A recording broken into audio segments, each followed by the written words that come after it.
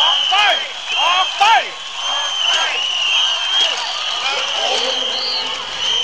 ได้บอกกับคุณยิ่งรักชินวัตรว่า ประชาชนมีความประสงค์ที่จะใช้อำนาจอธิปไตยของประชาชน ซึ่งจะเป็นประชาธิปไตยทางตรงและประชาชนมีเจตนาร่วมร่วมกันแน่วแน่ว่า จะเข้ามาจัดการแก้ไขบ้านเมือง ด้วยมือของประชาชนเอง และถ้านายกยิ่งรักชินวัตรยอมฟังเสียงประชาชน ยอมส่งมอบอำนาจให้กับประชาชนโดยดีเราก็จะปฏิบัติต่อคุณยิ่งรักชินวัตรด้วยความเป็นสุภาพชน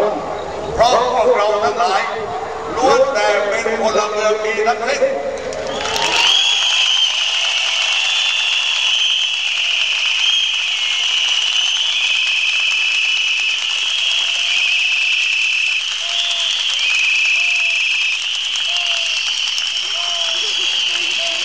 เหตุที่ประชาชนหลาย